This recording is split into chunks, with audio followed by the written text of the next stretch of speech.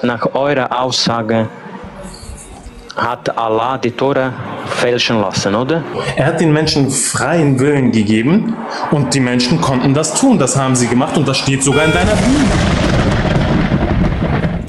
Die Bibel ist voller Fehler und wir können gut damit leben. Denn wir glauben und der Glaube basiert nicht auf der Richtigkeit der Schrift.